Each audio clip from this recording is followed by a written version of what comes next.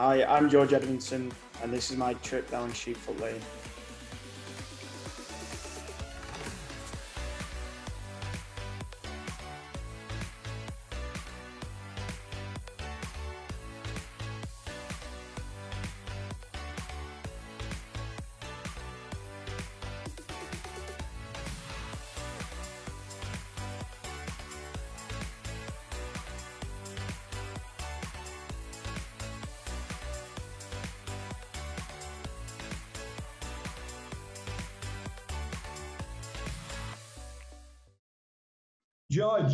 Finally made it on your trip down Sheepfoot Lane. We've been trying to get hold of you for a week. But uh, tell us about how you got to Boundary Park, the beginning for George Edmundson. Ooh, it's quite a quite a long-winded story, but We've um, got 45 minutes, keep going. so I was, you know, I'd been on trial, you know, United, City, Everton, Burnley, even Oldham when I was 13 or 14. And obviously, every time it was the same answer, you know, like, oh, sorry, you're not as good of, as what we've got, or it was either you're physically not big enough, you're too small, kind of thing. So I was obviously always got turned away and just went back to my Sunday league club. And then I ended up going to City, but not the actual like under 16s team. It was like the, you know, like the, these top teams have like development squads. yeah, So um, I went, and that's where I met Simon Cooper. He was like the the coach there.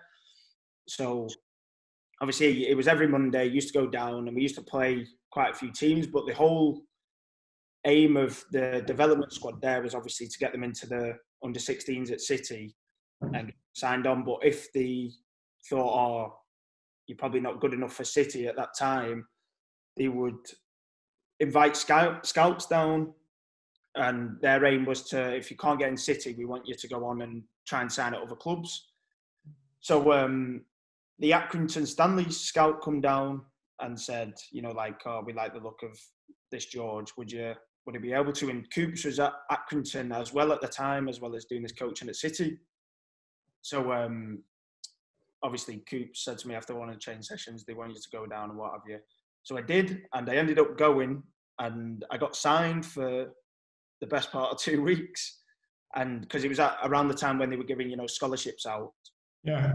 Uh, so I got signed on the under 16s. Was there for two weeks, and then at the end of the two weeks, they said, "Oh, we're not giving you a scholarship." So obviously, I said, Nice.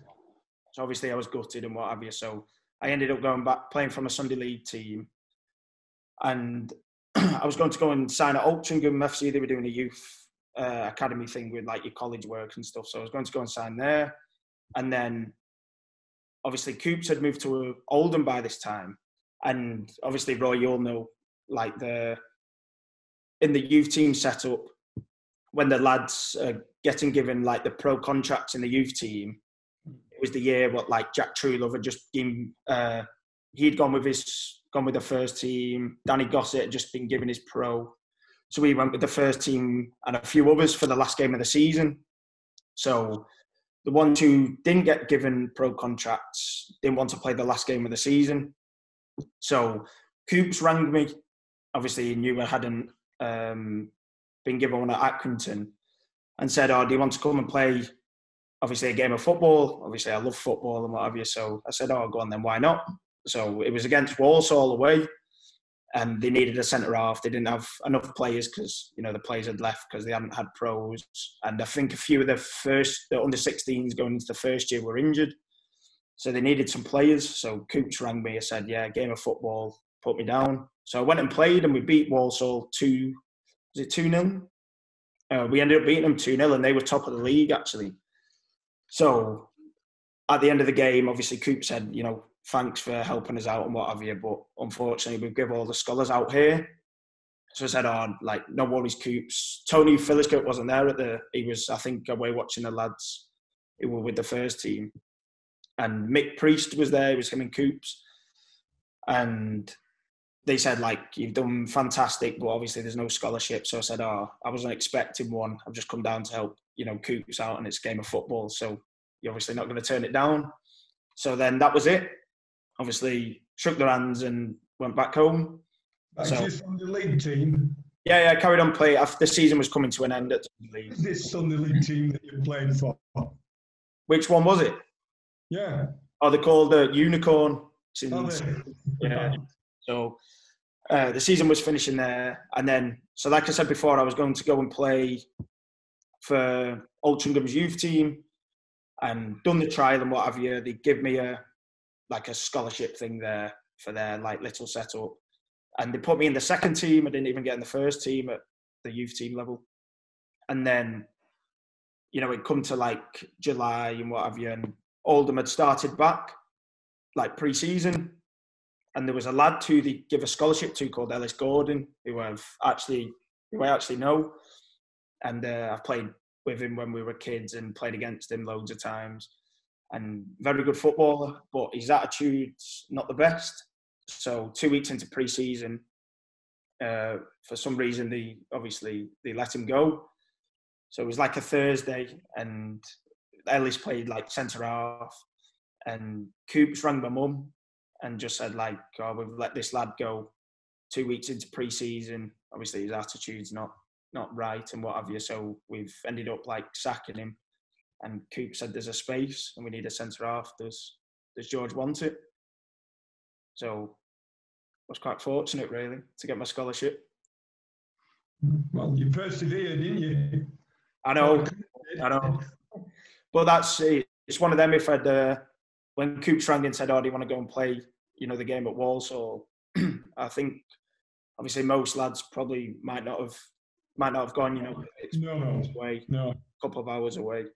He would have probably. Yeah. Oh, nah, I'm not playing that on a Thursday. I'd rather play Xbox with my mates. But obviously, I just love football, so I thought, you know what, I might as well. And the whole thing, I was saying to my mum when Coops asked for me to go and play. Obviously, which I knew no, I wasn't going to get anything at the end of it. But you know, I said I might never get to play like say youth team football, you know, ever in my life. So it'll be good, you know, experience for me. Mm. And, you know, mm. I of yeah. played youth team level. So you was there another. Well, you did two years, did you? Yeah. So obviously, Coops rang me. Obviously, I couldn't believe it. I was playing my Xbox at the time when my mum come running in, um, and obviously the scholarship's two years, two years long. So yeah, I did my two years there. Uh, so how long did it take you to break into the first team? Um, it took me a few few seasons. Obviously, I got my pro, um, which is another story in itself. Yeah. How many loans did you go out on during that time? I went on three. I went to Ramsbottom in my first year, thinking Evo-Stik. Then I went to the following season. I went to Alfreton Town. Ah, you did. And then in my third season, I went to Fylde. Fylde. Was Danny Rowe at Fylde then? Yeah, he was. Yeah. Yeah. Well, was Johnny Smith there?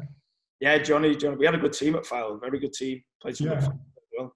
Johnny well, Neil, Neil Joy would be there by that time, was he? Yeah, I think he he might have been the one actually who uh, put, put a word in for me with the gaffer there. So, yeah. Uh, got me signed.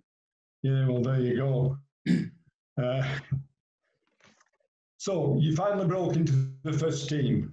Uh, how did you find Tony Philliskirk? Do you, do you owe a lot to Tony Philliskirk and Coops and, and Priest? Yeah, well, I had in my first year scholarship, I had it was Tony Coops, Mick Priest, um, and then second year was Tony Coops and Pete Wild. Oh. And and Chris Millington coming more towards the end as well.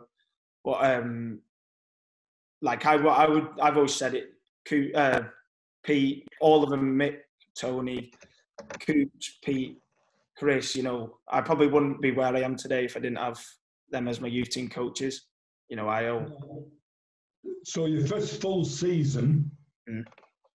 in the first team, how much of an influence was Peter Clarke? Uh, massive, really.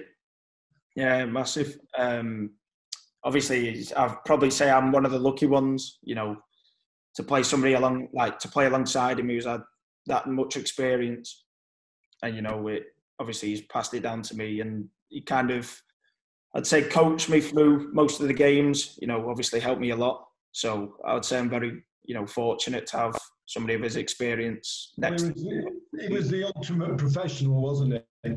Yeah, exactly. You know, when you could say the term "fit as a butcher's dog" because he he, he, he never stopped training, did he? Even in the uh, close season.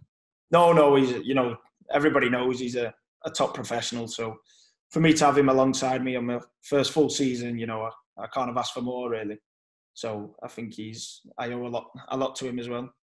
Yeah, yeah. Then towards the end of it all, you made the Division Two team. I know. was that 2018-19 season? Uh, what year are we in now? I think it was. Yeah, well, it would be. It was not long before you left, was it?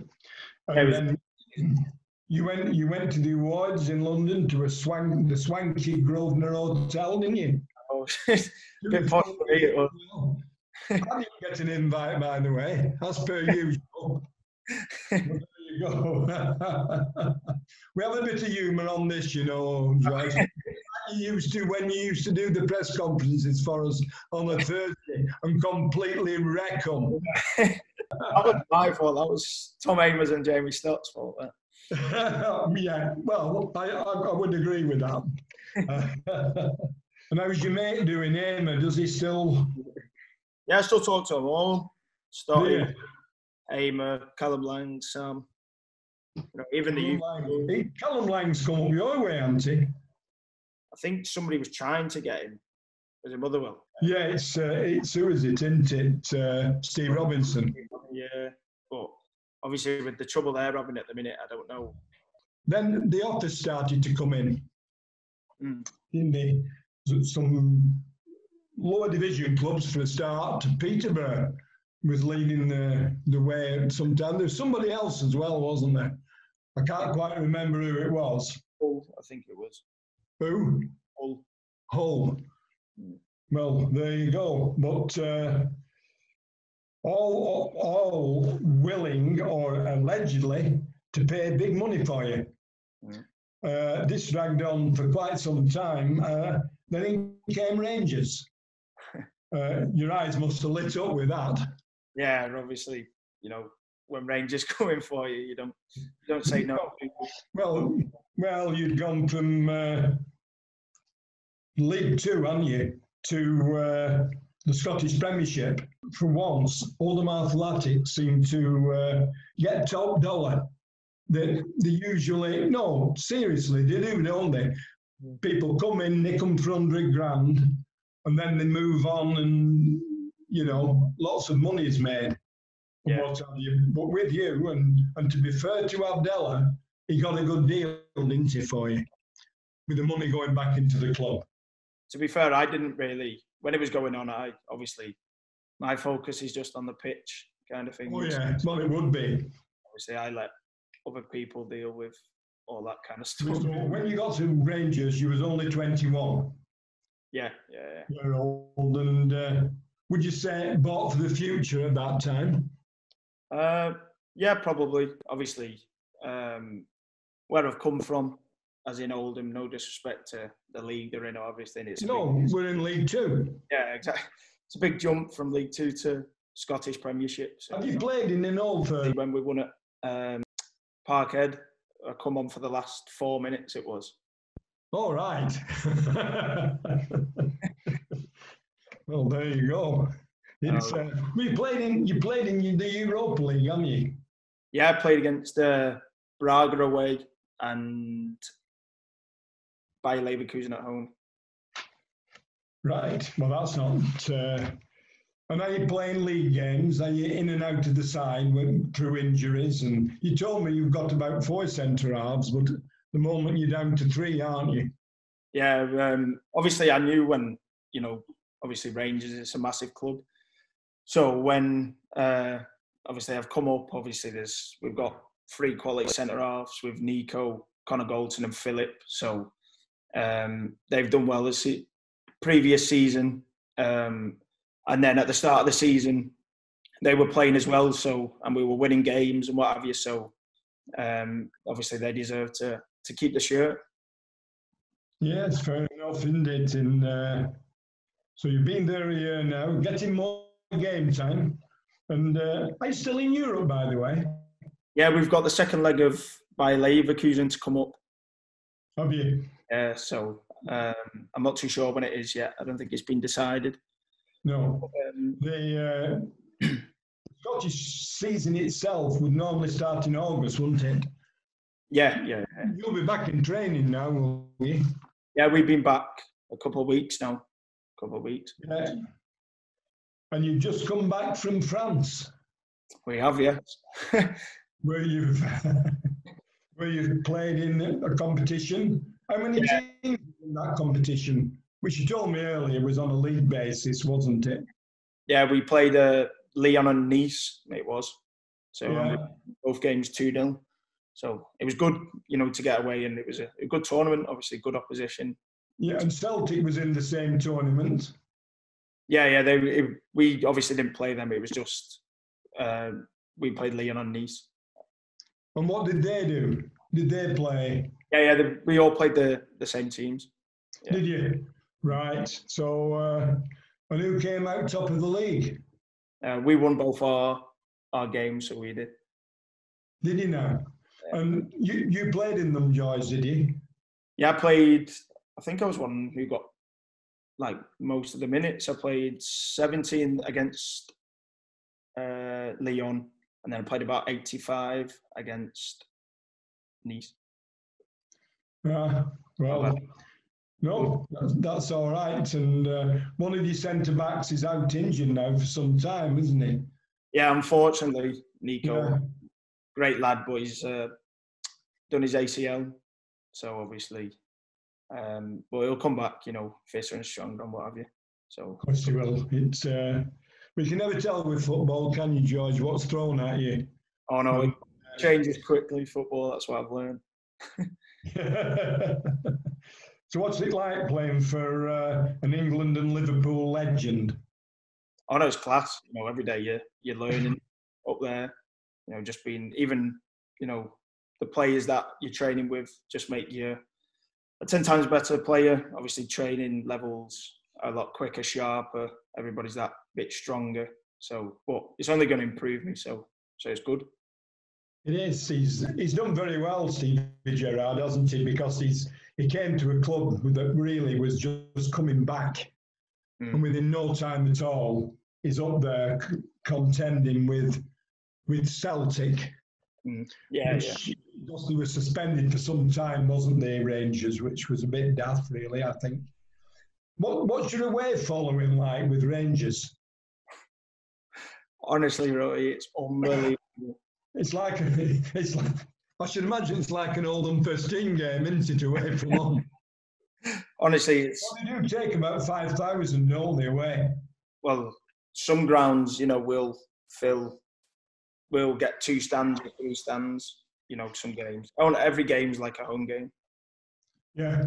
because we take that any honestly everywhere. It could be hmm. in, I don't know, the other side of the world, and they would still fill the stadium. Honestly, Roy, I didn't realise how how good it is.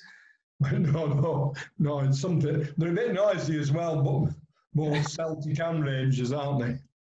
Yeah, yeah, it's good. It's good. Very good. The, Yeah. the Well, would you, would you up?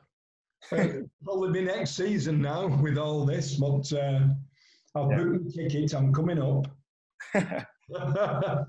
we'll do commentary on that one. Don't worry about that. But, uh, now then, now, George, what's all this about your nickname that the fans have given you? Called fridge. Fridge. I think Where it's just. this fridge from? I don't actually know. It's from like one of the first games, and they were just like, "Oh, he's massive," so we're going to call him the big fridge freezer. Did they? well, somebody was telling me the other day, every time they mention you on social media, a fridge pops up. Is Yeah. right? Every time I tweet, somebody will do a little fridge picture or something. But I've been called worse, Roy. So Pardon? I said I've been called worse, so it's not too bad. Well, you have, haven't you? Well, it's, it's one of those things. It, um, But I saved that one right to the end for you because I nearly forgot it. I just turned my sheet over, and at the top it's got George the fridge. so the fans have obviously taken to you because you know they haven't called you anything derogatory, have they? Really? I made a few mistakes. The fridge needs just a little bit of explanation, doesn't it? Really? Yeah, it does. Well, you're having a good time up there, George, and obviously progressing, aren't you? Yeah, I love it up here. Honestly, Roy, it's Yeah, life changing. yeah. Have they had you in a kilt yet? Uh, not yet. I'm still going through them. Is that New Year's Eve and New Year's Day? They'll have you in one of them, will they? Probably both. Yeah. The old firm game, the main one, is on New Year's Day, isn't it, usually? No, around that time. Does your mum and dad come up to watch you from time to time? If I'm de- if I'm playing, my dad definitely comes up, and my mum comes up when she can. And then Yeah. if I'm on the bench, it depends what my dad's doing with work. What's all this about? Training and then going to bed and sleeping oh. all day. So I'm on about Roy. It's that tough training. I get over Is it? Sleep, honestly. Try marking Jermaine Defoe. Why does he? Uh, is he up there? yeah, he, he, he's with us. But with Rangers, I remember him going. I thought he would might have disappeared. Is No, he? he was on loan and then he was free at the end of this the season just gone, so we've signed him. Well, you can't at that level. You can't just turn up to training, can you? You've got to. No, no. Uh, well, you can't. You, I'm not saying you did at all, them, George. But uh, I know. It, it gets When I very- was in the league, it I gets used to break serious, doesn't it? When you you're at a team that's in Europe and stuff like that, and I don't, I don't think a lot of the fans know just how much goes into it now. Yeah. It's, it's all science, isn't it? Yeah, you know, obviously Oldham do great, you know, obviously with the where they are and, you know, what they can say like afford to do really. But um, you know, everything up here is monitored and it's it's a bit crazy really in a good way. It is. Well, I think we'll end on that uh, very high note, shall we say. And so, thanks very much, the fridge.